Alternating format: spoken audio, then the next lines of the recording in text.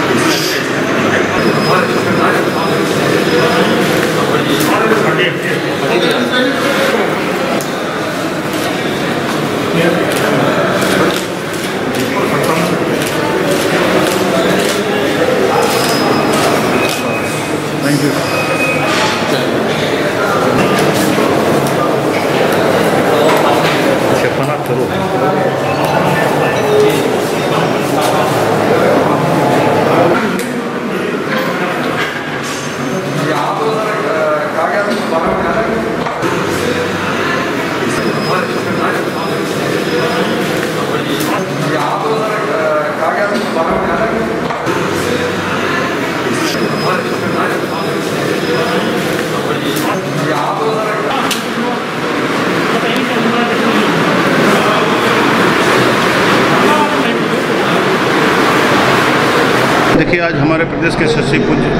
महाराज जी ने गोरखपुर जनपद के सभी सम्मानित सांसद और माननीय विधायक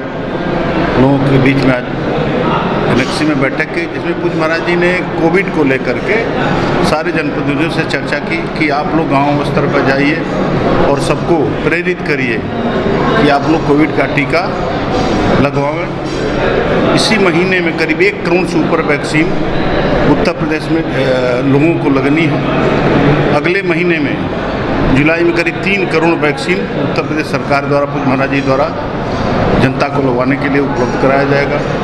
और सबसे बड़ी बात थी कि आज किसी को खाने पीने की कोई दिक्कत न हो, उसके लिए खाद्य सामग्री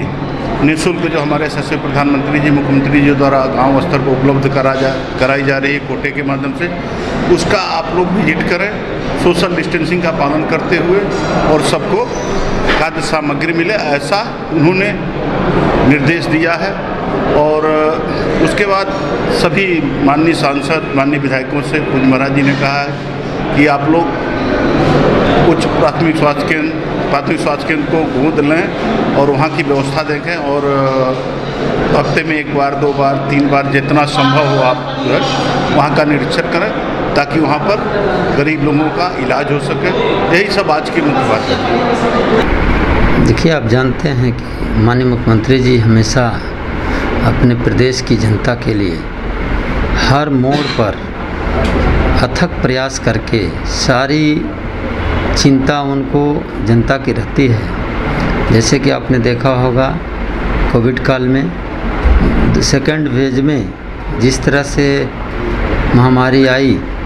उसमें दौड़ करके सारे लोगों को पूरे प्रदेश में और सबकी चिंता उन्होंने की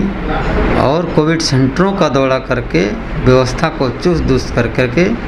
सबको राहत पहुँचाने का काम किया है। अभी माननीय प्रधानमंत्री और माननीय मुख्यमंत्री जी ने अभी गरीबों को जो तीन महीने मुफ़्त राशन वितरित करने के लिए जो कहा है, उसका सारे जनप्रतिनिधियों को उसकी मॉनिटरिंग करने के लिए अपने सामने और जो बगैर राशन कार्ड धारक हैं, राशन कार्ड उनका बनाने के लिए जो वहाँ के निवासी हैं, मूलतः उनके राशन कार्ड किन्हीं कारणों बस नहीं बने हैं, उनके बनने चाहिए और सारे हमारे कार्यकर्ता पूरे प्रदेश के भारतीय जनता पार्टी के पदाधिकारी कार्यकर्ताओं ने अपने मर्ज़ी से, अपने स्वेच्छा से सारे पीएससी, सीएससी को गोद लेकर के उसकी साफ़ सफ़ाई, रंगाई पुताई, सारी चीज़ करके ताकि तीसरा वेव अगर कभी भविष्य में आए तो उसे लड़ने की पूरी व्यवस्था से लैस होने के लिए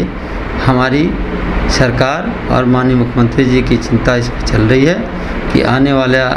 कोई भी संकट आए उससे निपटने के लिए हम पहले से तैयार हैं।